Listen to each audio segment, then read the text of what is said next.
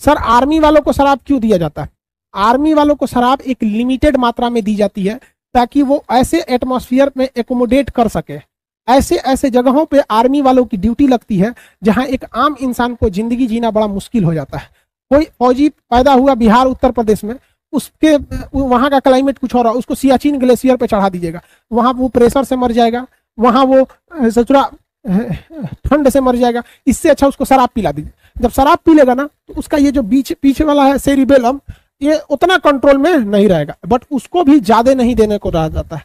फौज में भी रिस्ट्रिक्शन होता है कि आप ट्रेन में नहीं पी सकते या एक एकोमोडेशन के लिए उन्हें शराब दिया जाता है, एक लिमिटेड मात्रा में। और वो शराब बहुत ही हाई क्वालिटी का होता है, उसमें ये ध्यान रखा जाता है कि ये नशा कम करे, बल्कि शरीर को एकोमोडेट करने में मदद करे। इसलिए शराब पीने वाले फौजी को कभी नहीं देखिएगा। देखिए, ज़्यादातर फौज में शराब लीगली उनको प्रोवाइड कराया जाता है बट कभी नहीं देखेंगे कोई फौजी नाली में गिरा है।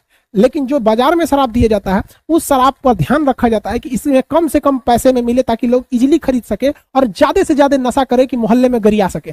तभी तो बिकेगा शराब यहाँ पर। तो उन शराब में और इस शराब में शेर और सुअर का अंतर होता है। समझ आ गया?